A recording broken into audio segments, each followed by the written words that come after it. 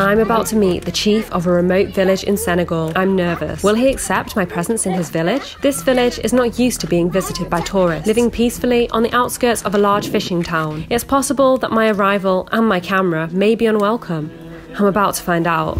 But before we receive the chief's verdict, we should probably go back to the start of this tale. It all starts several hours away in Senegal's capital of Dakar. I start the day with breakfast at my hotel in downtown Dakar.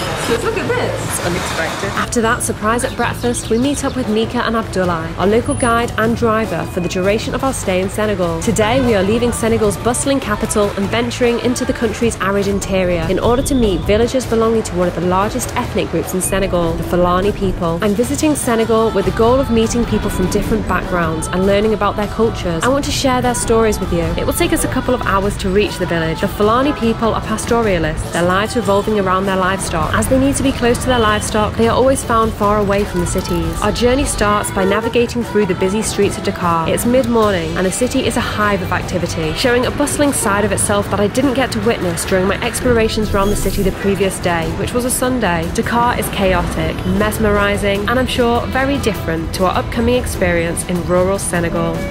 But then, we are pulled over by the police. They proceed to search our vehicle. It's a nerve wracking few minutes, but eventually they let us go. Finally, you didn't get anything. Oh, okay. Okay. So they're they basically trying to find a problem so that then you have to pay them some Yes, yeah, yes. to, to, yeah. Does that happen often? We reach the main highway, which leads away from the city centre, passing heavy queues of traffic as people arrive in Dakar, presumably about to start their working day. The roads clear up as we leave downtown Dakar, passing through the suburbs. The buildings here are notably different from the gleaming tower blocks in the city centre. At first glance, you may think that they're very old, but that's not the case. In fact, pretty much all of these buildings are under construction. These buildings are built in stages by their owners, gradually over an extended period of time. They are perfectly habitable in the meantime, and many families do live in them, but the option is there for another floor to be added to the dwelling in future. Only once all the desired floors have been added will the building be rendered. The world outside my car window begins to shift. Tall buildings replaced with rows of palm trees and iconic baobab trees in a range of interesting shapes. The more inland we get, the hotter and drier the environment becomes. The Fulani village we are visiting is on the outskirts of M'bour, a sprawling fishing town on Senegal's Petite Côte. We turn off the main highway and drive through the outskirts of the town. Shortly after our arrival in M'bour, we stop off at a convenience store in order to purchase gifts for the village we are visiting as a thank you for allowing us into their village. So is this the shop we go to? Yeah, that's the place. Sohna, that's the woman name. Bonjour. I was grateful to have Mika with me, as his knowledge of the area and culture was essential when deciding what gifts would be best received by the Fulani village. So, so she got that. Not exactly what I'm looking for. We purchased sweets for the children, as well as some coffee, tea, and sugar for the rest of the villagers. Merci. Jaraja. Jaraja. Oh, I forget what happens next. Amur solo Amu solo, or nyoko boko. nukuboko. Thank you.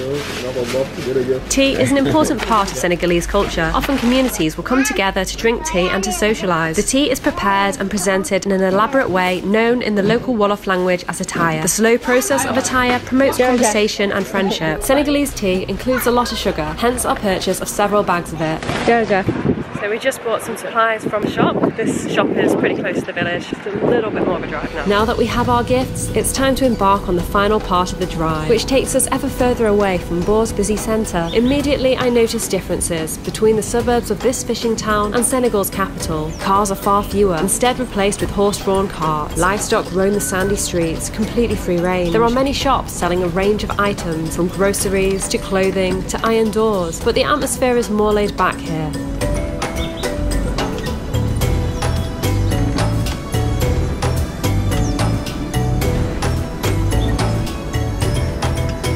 It's midday, the time when children return home from school for lunch, and as a result, we see lots of children on their journeys home. We even see a horse and cart with many children sitting atop it, ready to transport them to their village. Soon we leave the tarred roads behind us, the landscape around us becoming ever more rural.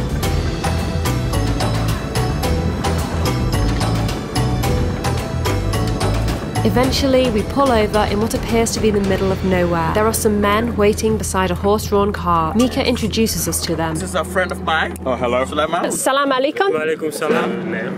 Uh, Lewis. Lewis. Lewis. Sulaiman. Ella. Good name. Thank you. Okay. Jarajaf. Come to the village. These are villagers from the Fulani village. We are invited over to the horse-drawn cars, our means of transportation into the heart of the village.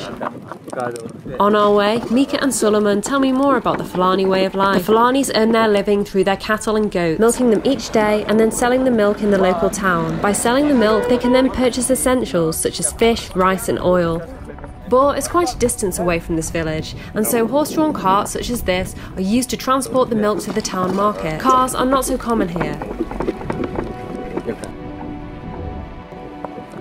So this is the primary. Here I begin my study. Oh, you Okay. studied that? Yeah, and after I Yeah. do the and after I go to the university. Oh, wow. University. We study with computer. Computers? Online. Oh, that's the teacher good. is online. Oh, really? My three years, and after I will look for a job. What kind of job do you want? Or translator maybe. Easy to get a job here, Senegal. Yeah. In the station selling for the gasoline or it's not easy to get a job. Sometimes you see opportunities and Yeah, so you just apply for what's going. Yeah. The, most, the majority are Muslim here in Yes. the village. There are some Christians, no many Christians.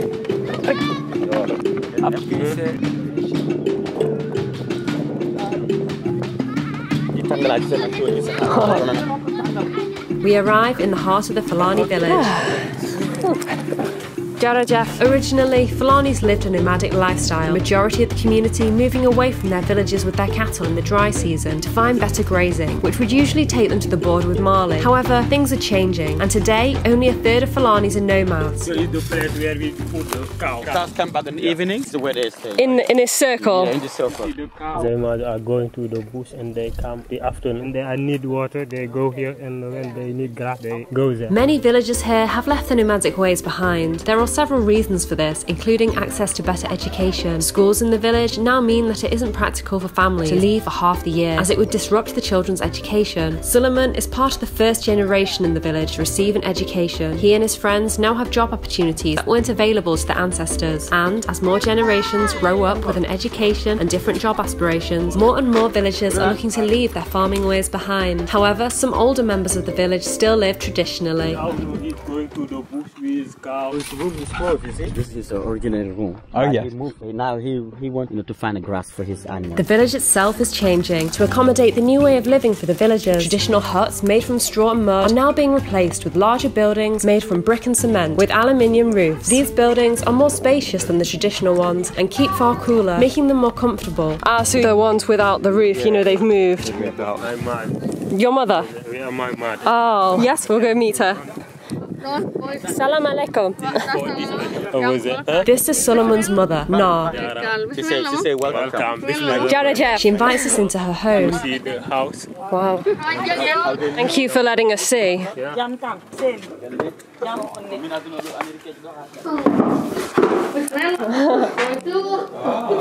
This is good. Nice. Wow. Keeps cool in here, doesn't it? Yeah. Jarajab. You can take a seat.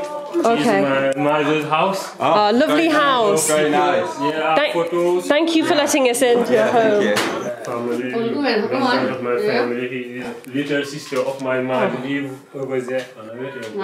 Kono nga mayor commune Malicounda. He's the mayor. He's the The mayor. mayor of the commune of Malicounda. You see the electricity. They didn't have electricity back in the day. Yeah. How long has the electricity been oh. here? Non, waya installation boy quoi. O installation kam depuis samedi garto no hijjan.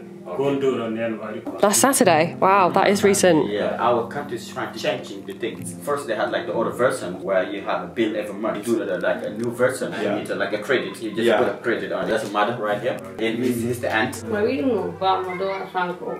Baba, what's that? Thank you. Man? There the jam. Agamu, liu gamu, liu gamu. his, his father passed away a couple of months ago. Oh, I'm sorry. Oh, thank you. I just want to go to Yang buat, yang buat mak ngaco, Modum ke? mak ngacuy. Right, one day. Ayah ni aman garam no, berbeda dengan buah bakar. What, what um, job would you like to do after university? Translator. I'm not very good in English, but I try. You seem good. Good. Yeah. He can be a good translator because he speaks Fulani, that's his mother language, and also he speaks Wolof pretty good, and French and English. I think that's enough. That is a lot. Some notion in Arab language. Arab also? well. Some notions. Wow, that's a lot of languages. I can't speak any language other than English. It's bad. So the Fulani language, what is hello? Hello, Mbakda. Bata. And also, Bata. Bắt tay tròn. When they Back come to to Sean. Oh yeah. you feed for, Back to feed Sean. for the cow. see, the interaction, they didn't find enough food, and they have to Yeah. buy the food. Yeah. feed for the cow. What what is that? It's a from cotton tree. Cotton tree and mix like some, some other product on it. Nar lives in one of the newer style of buildings in the village, but it wasn't always this way. Suleiman takes me to see their old home. Here we were. Yes. Their first room. Your first home. room of my mother. Our former living and the. This one too. Yeah, this Both one. of these. Uh, see here. When did you move? Last year, they moved. Last year. Last year you Last moved. year, last year Oh wow. Like a storage for them where they can keep their stuff. Did you live in here? Yeah, he's, he's living with He- his man. he's my. Yes. He's my mother. Interesting. That is the house of my big brother, my little brother and my big brother here. Our former living. The roof fell down. Is that weather? Where to where? The Yeah. raining season. The new house is good because it's not going to get damaged in the rainy season. Yeah, yeah. Yeah. The Very- new one, it has only cement. It has a mud. It's a mud they use. To protect the mud from the rainy season, they have to put the cement at the top. Then now that lasts forever like the others one. It's totally different. Yeah, you have the, you know, the local kitchen. If they're cooking close by the rooms, it can be smoke on the wall. It can be black. Also, it will be so hot. That's Yeah. why they always cooking like uh, opposite side. Mara little Mara get. Nara. She's cooking rice with some smoked fish. Yeah. So you wash yourselves. You wash it, wash yourself. Yeah. So you put buckets of water in there. Yeah. Yeah. Suleiman shows us a large termite mound at the edge of the village. Ah, it's, has this been here a long time? Not all long enough. It's very, very quickly. Two years. Two years. Suleiman informs me that this small building is used for cooking. It's where they do the cooking. Cooking, yeah. Oh wow. Oh, wow. I'll try. Oh, I'll try. Oi. Oh. Okay. I did it. wow. Do baga say en gona no e be defa des fois bo we jande go ndem. Thank you. Here is the place where we fry. where they're always gathering together five times a day. Mostly the men's, you know. First spray is at six before the sun. rise. Okay. The second one is at two, and the third one is at five, and the fourth one is a sunset around seven, and the last one is at eight. The biggest one we saw is at where they do the special prayer for Fridays. Friday is like how Christians go to the church on Sunday, and the prayer is at two o'clock. Is that a longer session than the one on Friday? And five prayers a day, people who live in the same villages Yeah. will always gather together, sharing conversations. On Friday, there will be for whole the community. The whole community. And Wow. Yeah. People how, how know each other. On it, also no mosque, but there would be big place where people from all over the village will come over there. Wow. People always know each other. For the cow. Feed for the Making cow. feed for the cow. Okay. Yeah. I will tell you that. Good. Kajango not. Yeah, He good. just come back from school. Your name? Cherno. Chair no with with N O. Ah, Ella. Allah. Yeah. Nice to meet you. Salam alaikum. He's the owner of the house. He Lives there with his family. This house. My mother is here. She's the big sister of my mother. That's his aunt, you know. Ja, ja. Ah. Ja, My aunt. Salam alaikum. Kom maar, wat vriend. My name, Ella. Ella, we have. Ella. I'm, I'm Lewis. Lewis, Mariam. Mariama. Mika tells me how Fulani people traditionally look distinct from members of other ethnic groups. He tells me that Fulani women have tattoos on their lips and their gums and typically wear many earrings. Bahasa Inggris ya? Eh, gitu.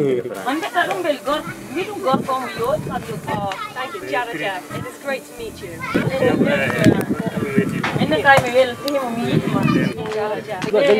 It's now time to give the children their gifts. Ella, try to give the most youngest one first, okay? The little one. Kala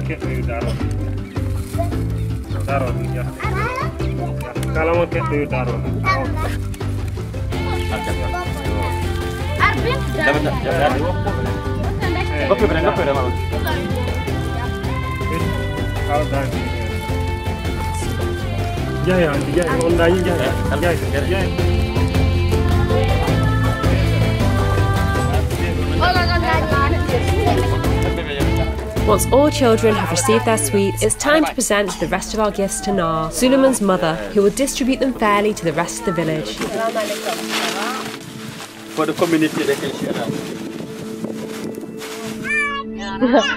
Thank you. Jada Jeff.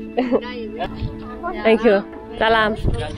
Yes. But our time in the village is not yet over. Au revoir. Au revoir. I'm informed that the chief of the village would like to meet us. I'm not sure whether to feel flattered or nervous. It then dawns on us that we have just given all our gifts away, and so have nothing to present to the chief.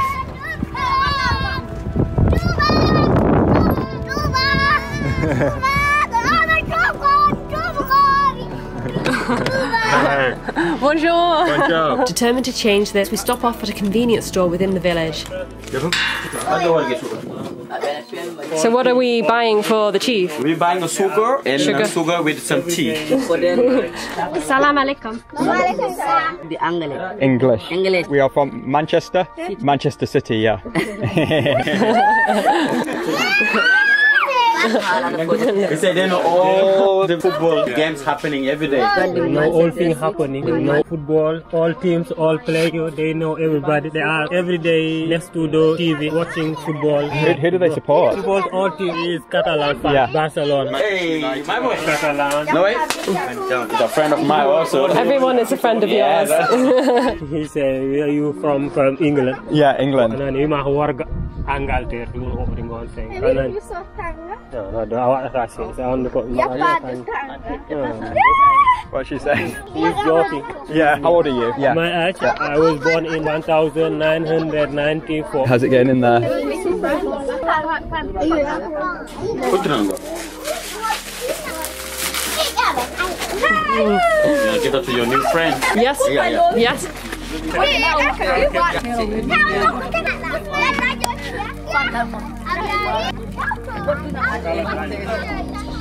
Oh, hello. Hello. Yeah, thank you.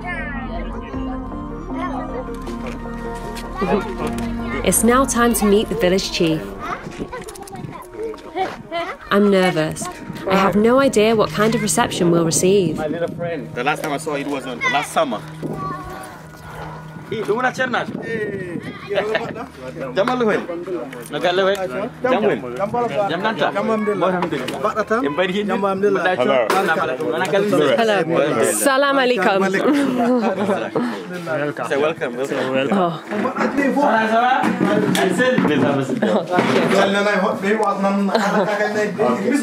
Oh, thank you. Oh, thank you. Jada Jeff. Welcome. Jada Jeff, wow. And the same, we hope all your family. He's the actually chief. His father was the chief, but he's getting older now. He's the one who's he's the chief of the village. Yeah, well, it is lovely to meet you. Oh, thank you. That is so. As you are home. Thank you yeah. so much. Ah, sabu mm-hmm. ɗum mbaɗɗa ko neɗɗo moƴƴo waɗa ɗum saabu neɗɗo tinɗoma tan arata ko imme ɓe ɓe garama joni an a hoorema aɗa déplace haɗa arɗo mm-hmm. tinnude amen hoorema mm-hmm. Ko en koreji enen fof eyyi nden noon bismima ganduɗa hoorema Salam. Yes. We are very grateful to them for hosting us. We have felt so welcome and feels like friends. Jada Jeff. Anyone who comes is always says Bismillah. That's mean welcome. kamene koye mumen dow goɓe gimmi haa ɓe ngare men mhm. ko wattorde en ha tinde men. Nden noon enenne ne neɗɗo kum neɗɗo tan Allah hande hol. Salam. It's now time to give the chief our gifts. Mm-hmm. nden noon kamen koye mumen He is uh, very, very happy. He is welcome and we're very happy to Yeah. have met him. It's like an honour. Bismillah ɗumen ko moƴƴi kamen. min ɗum mari heew sabu ɗum foti sa ƴeewi koko ɓuri won probléme fof sukata wara fof The chief explains how he will share the tea and sugar with the village. They will all come together and make an occasion of it. The thought makes me very happy. It's now time to say our goodbyes and to leave the Fulani village. My experience today has honestly been incredible and I've met so many amazing people. But my Senegalese journey is far from over. It's now time to head deep into Senegal's mangrove forests, where we will stay on a remote island and meet another of Senegal's ethnic groups. I'll even get to join in on cooking a traditional Senegalese dish. I'll leave that video here for you once it's live. It's not to be missed.